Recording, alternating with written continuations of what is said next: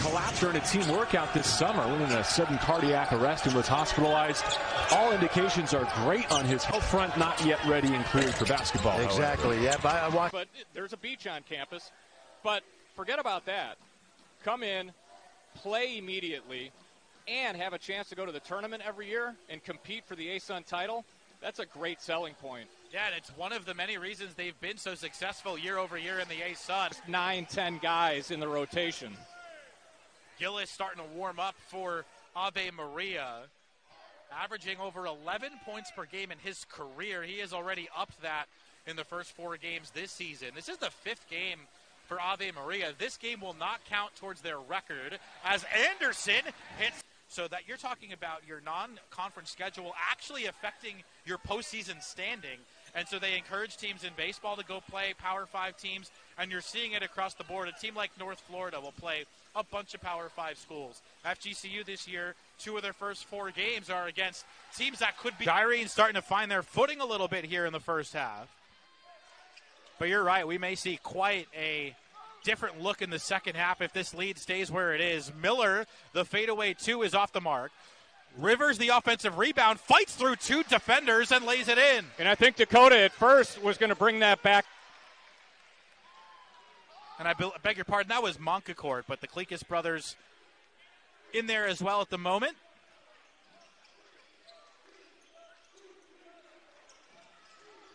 Here is Miller, kicks to Johnston. Johnston, the floater, is good. Chase Johnston can score from just about anywhere. A few years ago, and since then, they've had some issues with mold in their gym, and so they don't have a gym to use. They use Donahue High School, which is out on Ave, Ave Maria, but they can only use that during non school hours. So they're practicing at 5 in the morning. So this is a, a late. Clyde Curie, a Southwest Florida athlete, Gulf Coast High School. So got to be a little bit exciting for him to be able to play a game in front of his hometown, home crowd, Started a little bit cr- closer than uh, Ave. Started his career at Huntington University in Indiana.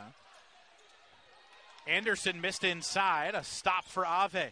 Really helps the group gel because there's a lot of new faces here, but he's not one of them. No. And Cato, I think he would tell you that he did not have a great year last year. Prolific scorer here in Southwest Florida in high school. Had a little hip injury that he had surgery on, and he looks so much better in tangibles that you, you have out of these seniors. He's a guy, he could score 20, he could score zero, but still be a positive for the team. There's a three for Cato. He is a spot up shooter. Dakota Rivers rejects it. Anderson pushing tempo for the Eagles. Anderson thought about the three and will reset. This is an athletic, experienced bunch for FGCU. Thompson, Bishop, Anderson, Rivers, Cato, all with at least three years of Division One experience. Downhill goes Bishop. Thompson from the wing open again. Isaiah Thompson with Toby Owaka. Easy jam, maybe the easiest he'll have all year. I think so. Slipped that screen and went down and found himself wide open. Good for the young man.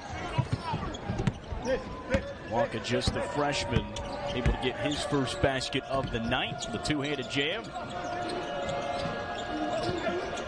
Local Tennessee.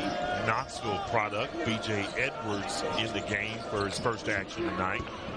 Coach Barnes is really high on him as well. Likes his basketball IQ, likes his work ethic as well. High recruit right here in Knoxville, as mentioned, is BJ Edwards from Knoxville.